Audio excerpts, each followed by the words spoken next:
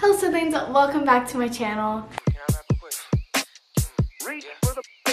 So today I'm filming essentially a part 3 to my leaving the Mormon church video. And this is coming out so late, so let me explain a little bit. So I filmed like four different versions of this video, and then I was like, you know what, it's not even that important. Like everyone knows why I left, and there's nothing else really to say. I have nothing more to share of my story, even though I kind of do. And then I realized like every week I'm still getting so many DMs from people asking for advice on how to move forward with their life and what to do when they're questioning and how to just navigate life after leaving the Mormon church because it's a whole different lifestyle to leave. And and what it really is like and what you go through. So I thought today I would sit down and finally talk about it. So this is to be me talking about my life after leaving the Mormon faith and what I believe in now, how my life has changed, and kind of just answering some of your guys' questions. So first I'll just explain my story. So as you guys know, I left about a year ago. I think a lot of people think that as soon as you leave, you're just instantly this like super happy person and you're so glad to be done with that section of your life. But that's not exactly how it goes for everyone. And here's the thing, everyone's stories are gonna be completely different. You're gonna feel different ways. And so you shouldn't feel bad at all if you are feeling like guilty or like, oh, maybe it is true, maybe I need to go back. Because you have to think about, I mean, depending depending on how long you were in the church, this is your entire life. This is everything you've known. So of course you're gonna question it. You can make the best decision for yourself and still question if it was the right decision. This goes for literally anything in life. So after I found out that nothing was true, I would go back and forth like, you know what, maybe it is true, even though all of these things don't make sense, even though nothing adds up, even though I don't agree with literally the things the prophets and apostles are saying. But if you don't agree with that, then why are you in the church? They are the apostles and prophets. You're supposed to listen to them. They speak for God. Even though I didn't agree, I was like, oh, it's fine, it's fine. I kept making excuses.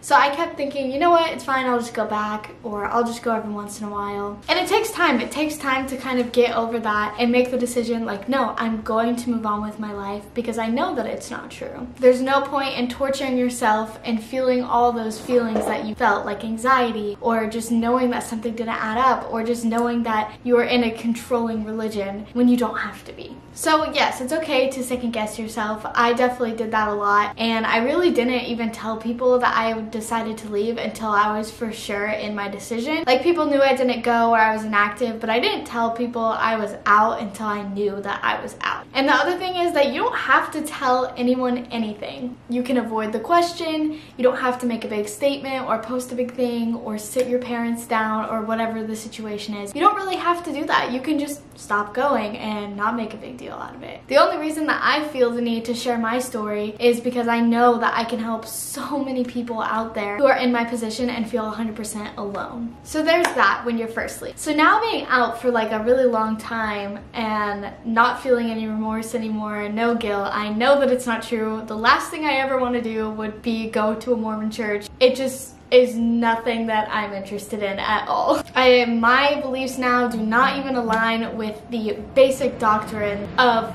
what Mormons teach. So I've moved on. And I also went through a stage where I was pretty angry and I just wanted to like expose everything. I think it's normal to kind of go through that phase too because it's like you're telling me that I don't have to do that and I'm watching all these people like suffer and not even like like I literally will hear people I know who are in the church who say I hate the church but I know it's true or like I hate this this this and this oh but I, I know it's true I have to go because you don't realize that it actually doesn't have to be true and you don't actually have to go. If you don't like it, then see what else is out there, you know? But it's hard to think that way when you're actually in the church. So I think a big thing for me was when I finally posted my part one and part two of why I left, that was like, it was as much for me as it was for other people because I finally felt like I let everyone know and I was letting go of it and everyone knows now. I'm not holding back because I don't really see a reason in holding back my reasons because I tell you guys like everything about my life, why wouldn't I tell you about this, you know? So that was really helpful for me, having somewhere to vent. Um, there's actually a lot of like Facebook groups if you are needing some comfort or whatever. There's tons of them of like ex-Mormon groups. I know there's like a millennial Gen Z ex-Mormon group or there's like, uh, I don't know, there's like a bunch of them. So that could be another option if you're looking for community. My DMs are also always open if you need someone to talk to. So let's talk talk a little bit about, like, literally, I'm not involved in the church whatsoever. I'm gonna kind of share some experiences that have happened to me since leaving, and we'll go from there. So whenever I lived in Utah,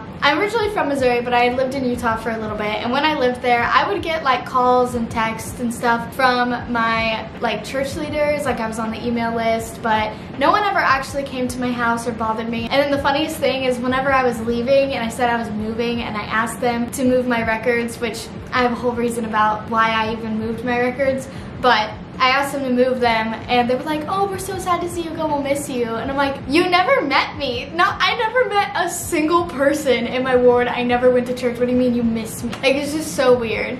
Anyway, so this, oh, whew. So I hadn't heard anything from basically, other than getting like the weekly emails or whatever, I hadn't heard anything from anyone from church. And then my new bishop calls me, I don't answer, he leaves a voicemail. And this voicemail is just talking about like, hey, welcome to the ward, we'd love to meet you. And literally he said in it that he had called my ex, but someone else had answered the phone and he didn't know who it was, blah, blah, blah, whatever. So let's just first note that the first thing the bishop did was call my ex because of course you have to talk to the man, not the woman. And I guess someone else answered, whatever, and then he left a voicemail on my phone. His next course of action was to call my father. I am a 20 year old woman who lives on my own. I have since I was 17.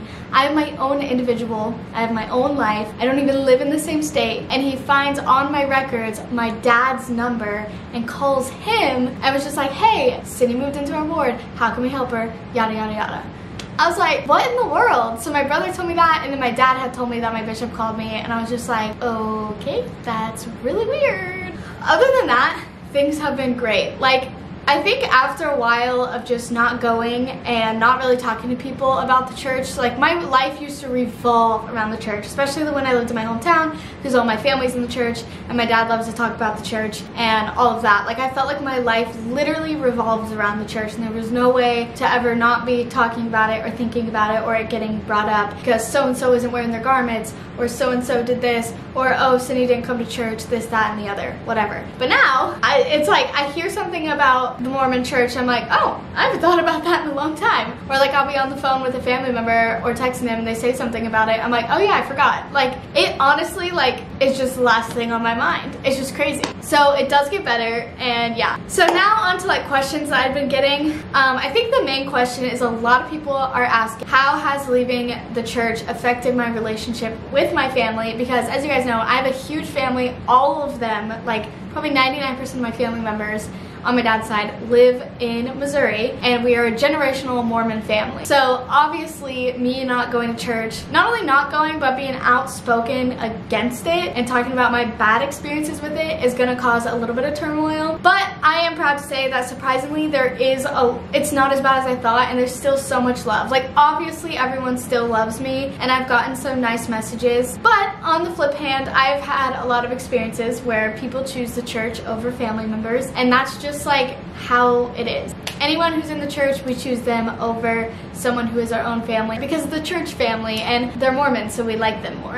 And it's a subconscious thing and I really can't blame people because I mean, this is what they've been pushed in their brains since whenever they joined the church. So how can I really be upset about it? And I think that's something I've had to learn is just forgiveness. Like as soon as someone says something offensive to me because I'm not going to church anymore or because of my life decisions, I just can't, I take it with a grain of salt. They will never understand or maybe they will one day, but they don't right now. And you cannot blame your family for the way that they treat you. You can only, you can't change the way they're gonna act or react, but you can change how you act or react, what you say say. I think that whenever people treat people a certain way, it shows more about their character than it does about yours. And I stand by that. And I definitely have gotten closer to my family members who either aren't as active or just don't go anymore. Because I mean, that's just bound to happen. It's like you have to find your community somewhere. We as people feel the need to always have community and to fit in somewhere. So of course that's gonna happen. Um, I know a lot of people, I get so many messages about people who are so scared to tell their parents, family, because of how they've been, they might be treated, or they have told them and they've been completely like shut off and shut out and their people their family don't want anything to do with them. Luckily I have not experienced that, but if that does happen to you, I just want to say that I'm so sorry. I know not everyone's parents are like this, but I have gotten some DMs of you guys like that and just know that I'm here for you. There are plenty of people who are here for you. And just remember that this is not your parents' life, it is not your family's life, it is your life and you have to make the decision that is going to be best for you. You can't just keep pretending to be someone else to make everyone else around you happy. Just because it's what your parents fully believe in or your family doesn't mean it's true. I think one of my favorite things since leaving is being able to figure out who I am without anyone telling me who I'm supposed to be or what I'm supposed to be doing. Because whenever I was in the church, it was like, this is your path. Like as a woman, this is what you do. Or as a 18 year old, when I was in the church, this is what you do. As a 19 year old, this is what you do. As a 20 year old, this is what you do. You know, you need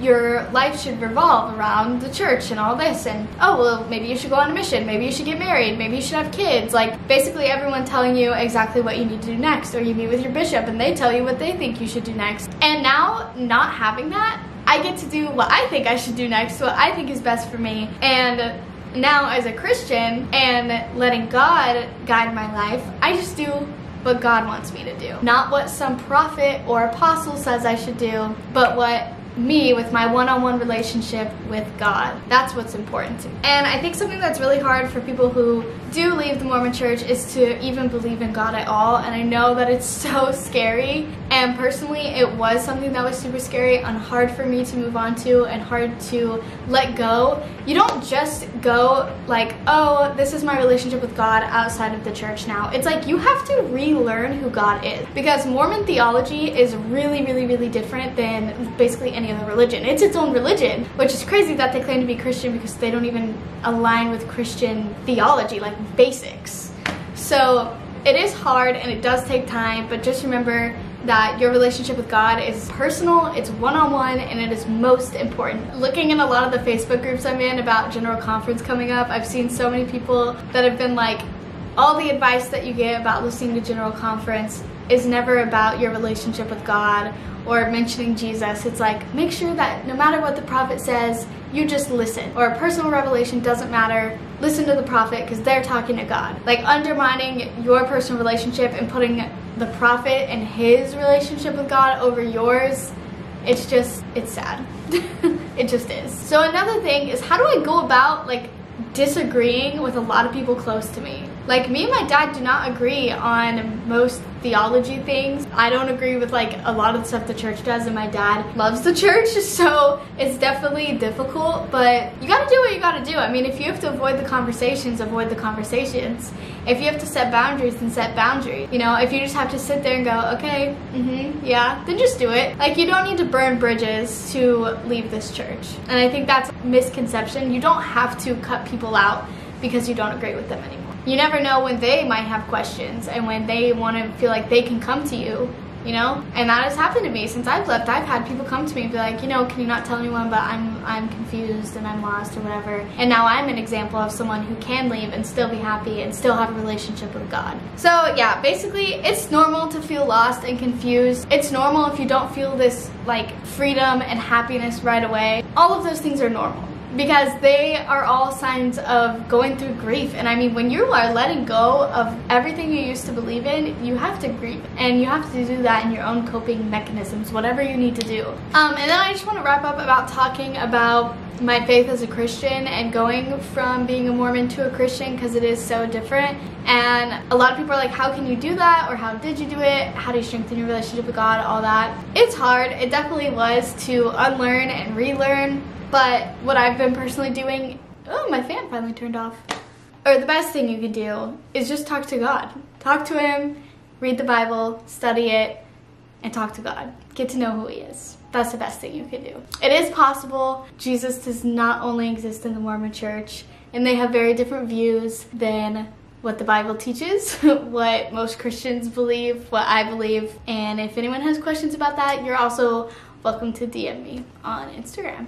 But yeah, my personal life after leaving the church is so free, so happy. I've never felt closer to God. I've never felt more myself, more free, more happy, like all of these things. And don't get me wrong, life is still hard. I'm not saying that I'm 100% a-okay all the time, super happy. That's not how life is, but it's definitely better than when I felt trapped and like I was drowning being in that church. I no longer am controlled by whoever. you know, like I don't have a bishop telling me what to do or prophet or any leaders or whatever. Like I just do me. I do my thing. Doesn't matter. It's not other people's business what I'm doing. I don't have to go tell my bishop what I'm doing all the time. Anyway, I hope you guys enjoyed, got something from this uh, related to it maybe. Leave your stories down below. I actually have decided that I want to start doing a, like, I read people's leaving the church stories because so many people have such unique stories or relatable stories that I think people need to hear. So I'd love to do like a fourth episode of this where I read other people's stories so you know that you really aren't alone. It's not just me and just you. There are thousands of people. So I'm going to leave a link where you can leave something anonymously. You can type a whole paragraph and I'll be reading through them. If you want your name to be in it, you're welcome to add your Instagram at or whatever. If you want to be anonymous, you can be anonymous. So make sure to leave those down below. And I'm honestly so happy to keep doing these with you guys. I could even do a live where we talk back and forth and I really go into depth about things because I want people to be educated and be able to make a choice for themselves and not feel pressured any one way or another because this is such a personal thing and such a personal decision. And I know that watching these videos when I was questioning was the most helpful thing. So let me know if you guys would like that or ask me questions of whatever you want to know. And I'll see you guys in the next one. Bye! Bye.